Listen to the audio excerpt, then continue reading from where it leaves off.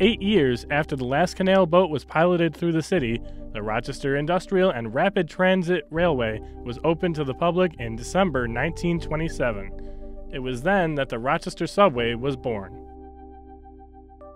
Seen as obstructing street surface traffic, the city gradually phased out all above ground streetcars by 1940, the subway becoming a more and more important part of daily life in Rochester. Though it was never really used to its full potential, many people used the light rail system during their daily commute. The subway ran four car trains at the height of rush hour during World War II due to gasoline and rubber rations. Running from the General Motors Rochester Products plant southeasterly through Rochester to Rowlands, the subway was not more than 10 miles long, only two of those miles actually running through underground tunnels.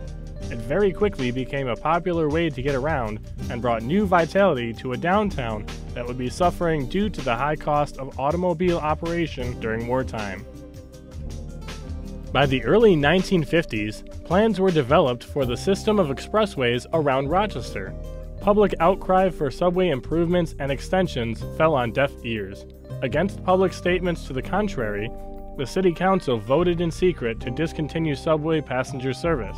The eastern part of the subway route was chosen for a portion of Interstate 490. The last passenger run was Saturday, June 30th, 1956. The subway was never really meant to die, but few traces remain today that it ever existed.